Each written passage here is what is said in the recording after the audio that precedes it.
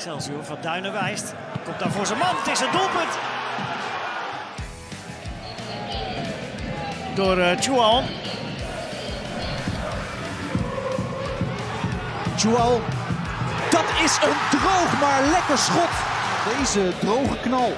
Die loopzuiver genoemd mag worden.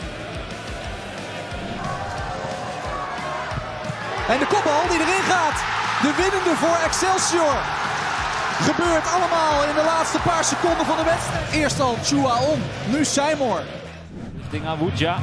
Bedoeld verlengd door Marquez. Nu Lamproe. Lamproe schiet er binnen. Lazarus Lamproe. Het verdedigend ook uitstekend. Zo af en toe komt het er ook uit, zoals nu met Azarkan. Azarkan, die schept hem voorbij voor Hulst en zet Excelsior op 2-0.